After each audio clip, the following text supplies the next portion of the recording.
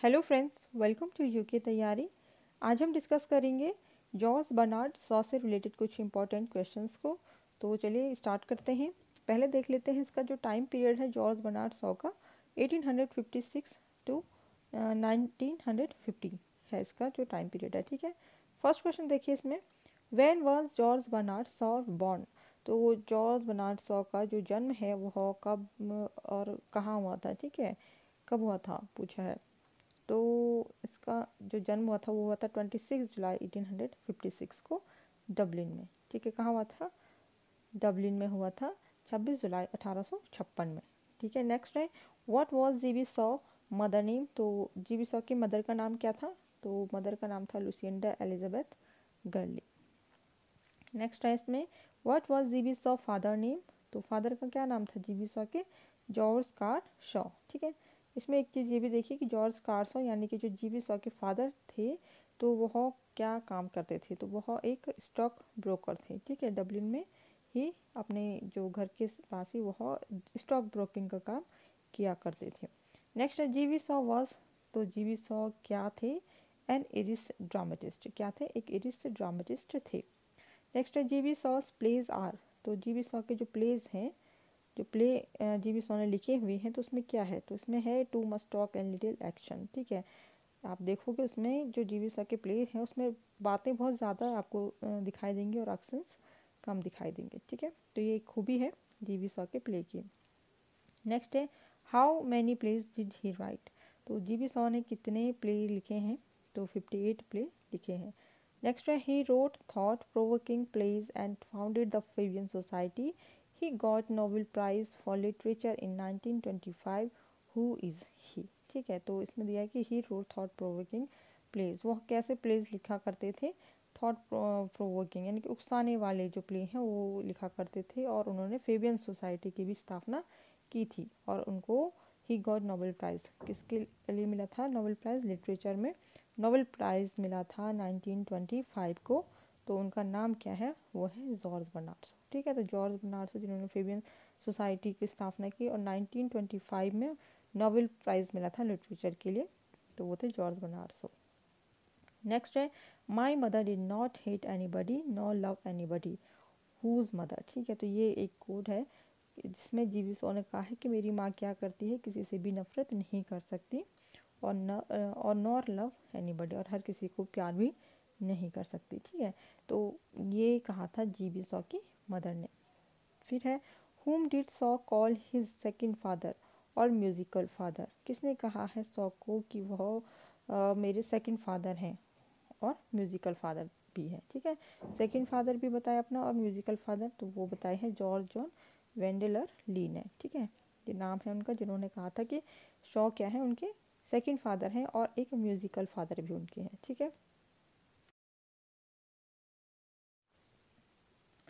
Next question is who made Saw quite famous in America by his production of his plays? ठीक है तो किसके द्वारा famous हुए थे? किसके प्रोडक्शन में? ठीक है तो रिचर्ड वेंसफील्ड के प्रोडक्शन के द्वारा जी बी शॉक के जो प्लेस हैं वो फ़ेमस हुए थे अमेरिका में।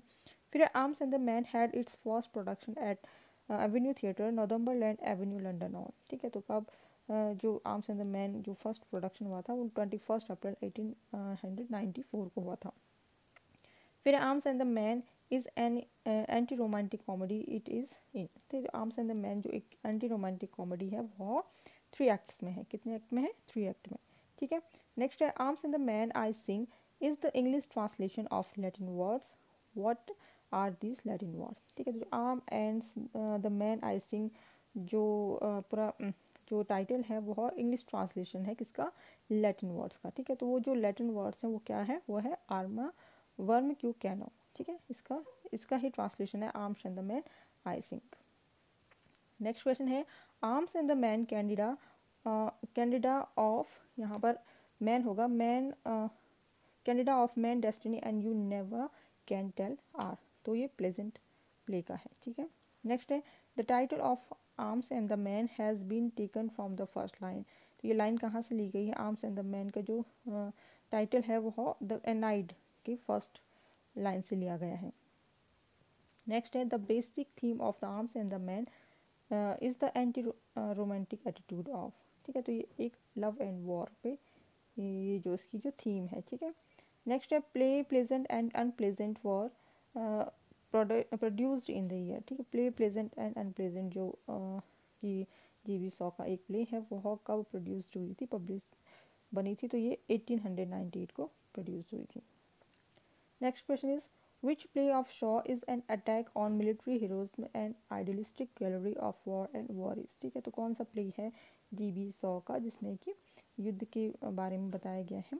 तो वो है Arms and the Man next है, इसमें my parents went your own way and let me go mine whose comment is this your comment किसका है? ये जी बी सौ का है। ठीक है?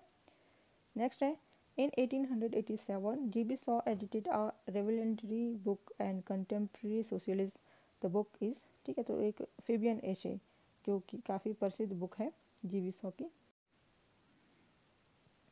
Next question is in 1887 G B Shaw edited a revolutionary book on contemporary socialism the book is ठीक है तो इन 1887 में जी बी शॉ ने एक बुक को एडिट किया था, जिसमें कि रेवलेंट्री बुक और जो उस टाइम की जो समाज के बारे में उसमें बताया गया था, वो था फेबियन एशे ठीक है? उस बुक का नाम क्या था? फेबियन एशे फिर है the ideal love affair is one conducted by post who said ये कहा है? जी बी शॉ के द्वारा. नेक्स्ट है Shaw claimed that he wrote in the tradition of ठीक है? तो ये मोलॉयर का है. नेक्स्ट है, इसमें which drama against the medical profession the doctor's dilemma ठीक है, जिसके ड्रामा है, जिसमें कि मेडिकल के बारे में बताया गया है। जी बी सौ का ही ड्रामा है। Next question is which drama is an excellent farce on English spelling and phonetics ठीक है तो कौन सा ड्रामा है जिसमें कि एक्सलेंट फार्स कहेंगे कि स्वांग रचा गया है इंग्लिश स्पेलिंग एंड फोनेटिक्स का? तो वो जी बी शॉ का काफ़ी फ़ेमस जो ड्रामा है, वो है पिगमेलियन ठीक है? नेक्स्ट है the influence of opera is traced in act third of ठीक है? तो ओपेरा से प्रभावित है ट्रैक्ड जो एक्ट थर्ड है, वो किसका है? वो है मैन एंड सुपरमैन का। नेक्स्ट है Shaw was much influenced by the American author of Progress and Poverty his a lecture converted him to socialism who is the American author तो शॉ के बारे में बताया गया कि शॉ बहुत प्रभावित हुए थे एक अमेरिकन ऑथर के प्रोग्रेस एंड पॉवर्टी से। तो जिसको कि उन्होंने क्या किया था, एक कन्वर्ट किया था लेक्चर को अपने सोशलिज्म के लिए, ठीक है? सोशलिज्म के लिए तो वो अमेरिकन ऑथर कौन थे? तो वो थे Henry George next religious intolerance becomes the subject of ठीक है? तो जो धर्म से संबंधित जो असहनीय असहनशीलता होती है तो वह कहाँ पर किसमें उस सब्जेक्ट के बारे में बात की गई है? तो वो ड्रामा है द पेग मिलियन जो जी बी शॉ का ड्रामा है। नेक्स्ट क्वेश्चन है इसमें Captain Brassbound conversion is repealed with Captain Brassbound का जो कन्वर्सन है, जो परिवर्तन की बात कर रहे हैं वो तो वो किसको लेकर के कर रहे हैं, किसके साथ में? तो वो है रिवेंज यानी कि जो बदला लेने की जो भावनाएँ होती है, उनको लेकर के वो बदल उनको बदलने की बात कर रहे हैं। फिर John Bull's Other Island is a comedy about. John Bull other island जो कॉमेडी है वह किसको लेकर के है? वह इरिस पॉलिटिक्स को लेकर के है। नेक्स्ट है, जीवीस of finished Man and Superman in 1903 it was produced on, ठीक है, जो जीवी सॉ की जो मैन एंड सुपरमैन है वह 1903 को पूरी लिखी गई थी। इट वॉज़ प्रोड्यूस्ड ऑन और ये प्रोड्यूस कब हुई थी? ये ट्वेंटी थर्ड मई 1905 को प्रोड्यूस हुई थी। नेक्स्ट है Shaw calls Man and Superman तो जी वी शो ने मैन एंड सुपरमैन को क्या कहा है? ए कॉमेडी एंड फिलोसफी कहा है। Next question is what a man is he man who said ये कहा गया है आर्म्स एंड द मैन में। ठीक है?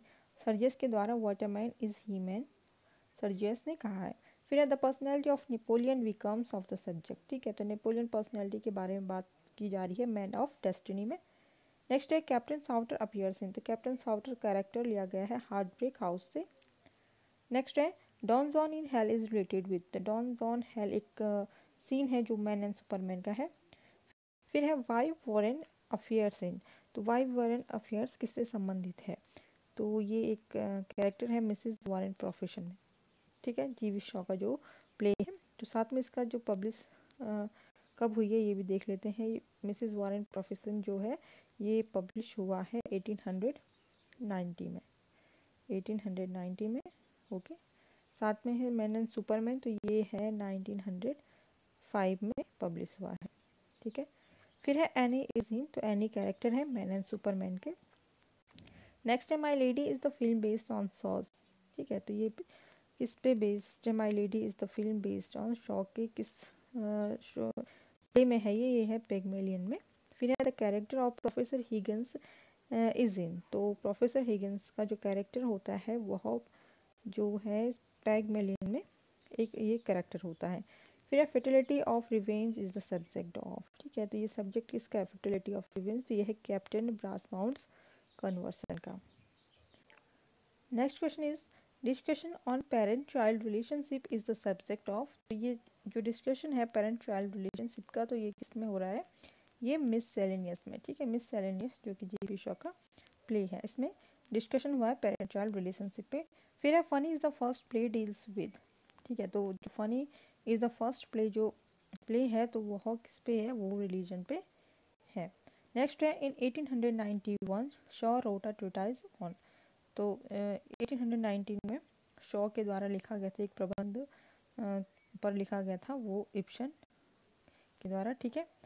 फिर है give me a good is work to do and I will do it who said ये किसने कहा है? ये औरिंथा ने कहा है इन द एप्पल कार्ट में ओके नेक्स्ट है when was George Bernard Shaw died तो जॉर्ज बर्नार्ड सॉ की जो डेड हुए थे, कब हुए थे? जॉर्ज बनारसो तो ये हुए थे सेकेंड ऑफ़ नवंबर 1950 इंग्लैंड में, ठीक है?